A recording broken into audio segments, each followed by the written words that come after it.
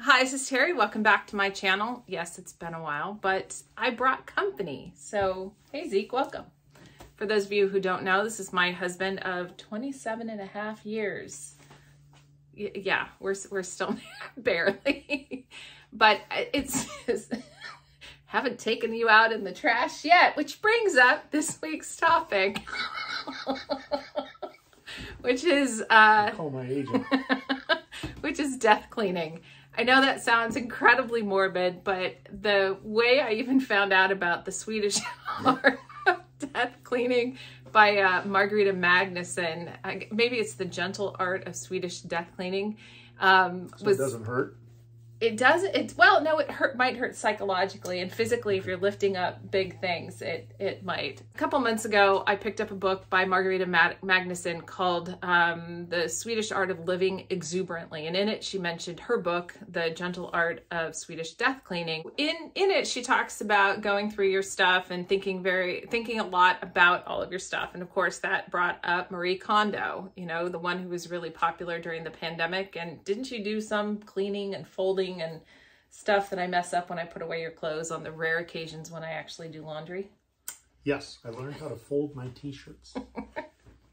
what I actually found when we decided to start purging some of our stuff was that that was completely overwhelming and unrealistic. And so we've started to go through things as it's convenient. Like before we went on a trip recently, I went through and purged out all of my travel and small size toiletries and um, some, some of my drawers and even a little bit of my closet and just put all the stuff into bags, threw it into the garage for you to deal with. Is that where all that came from? That's where all that came from.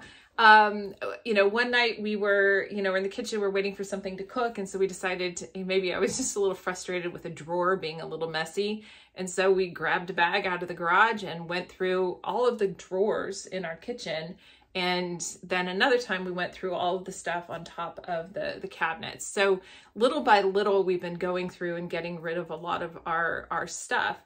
And then when we were in a, we did a home exchange over Thanksgiving. And while we were there, we were in this two bedroom plus an office with a two bath place. And it was really very minimal in terms of the stuff that they had. And so, Zeke, you found a book, Everything That Remains, on minimalism. Yep. And um, we also got to talking about how we really liked, we loved our visit to Denver and we loved um, the idea of continuing to live a little bit more of a nomadic lifestyle. And that means either renting out our house or doing home exchanges, which means making it so that it's very easy for people to come in and enjoy our home. Absolutely. Which means having less stuff.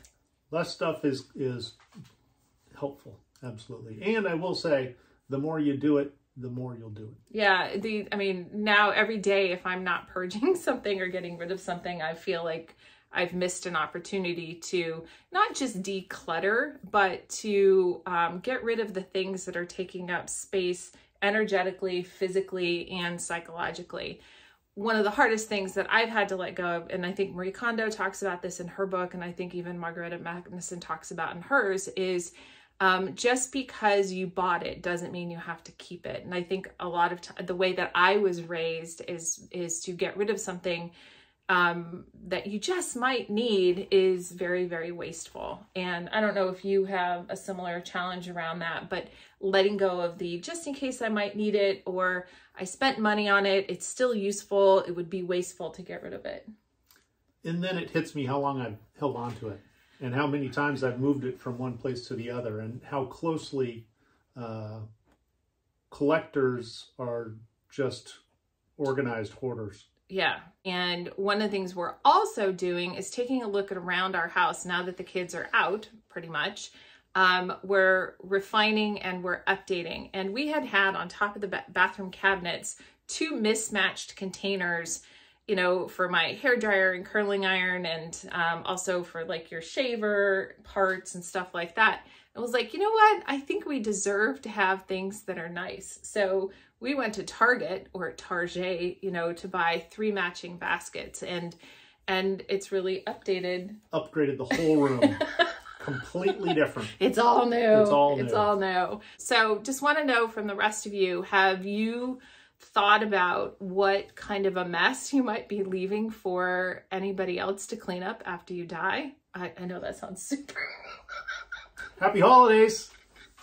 I know that sounds a bit harsh, but mm-hmm. I know my parents had to, I mean, my mom especially had to deal with stuff with her mom and then also with my dad's parents. And the idea of having to go through and deal with all of that, or having our kids have to deal with all of that, is not a gift that I want to leave upon our departure.